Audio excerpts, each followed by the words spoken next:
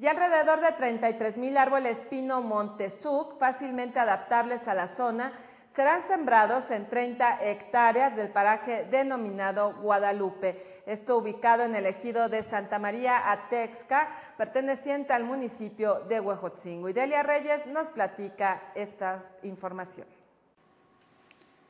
Dado que los árboles disminuyen el dióxido de carbono, que es un alto contaminante, y al mismo tiempo liberan oxígeno, alrededor de 33.000 árboles, pinos, montezuc, fácilmente adaptables a la zona, serán sembrados en 30 hectáreas del paraje denominado Guadalupe, ubicado en el ejido de Santa María Texca, perteneciente al municipio de Huejotzingo. Lo anterior fue declarado luego de detectar zonas viables para reforestar dicho ejido, una vez que el pasado 11 de agosto se realizó un recorrido con la presencia de Sergio Caballero Figueroa, jefe del Departamento de Restauración y Conservación de la Comisión Nacional Forestal, en Sugerencia Estatal Puebla, en coordinación con la Dirección de Ecología, así como de la Regiduría de Ecología del municipio a cargo de Humberto Arias y Benjamín Zambrano, respectivamente. Caballero Figueroa destacó en entrevista que para dar inicio a la reforestación, el trabajo comienza con la definición de áreas prioritarias para luego estudiar la planta adecuada al ecosistema a restaurar, la determinación de la cantidad y especies para la reforestación en cada entidad. Todas ellas son tareas en las que trabaja la Comisión Nacional Forestal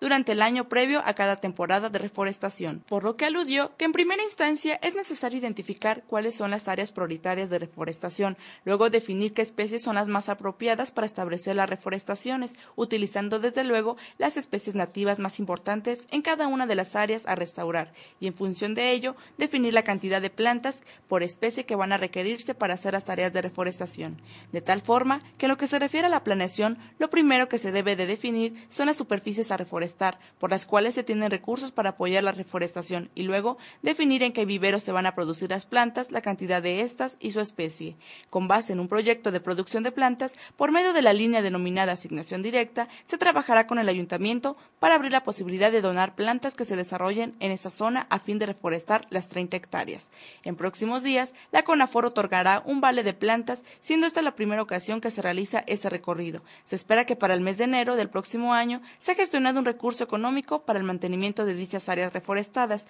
mismo que se basará en jornadas para que las 30 hectáreas sean protegidas con barda y así evitar la tala clandestina. Informó para Noticieros Puntual Delia Reyes.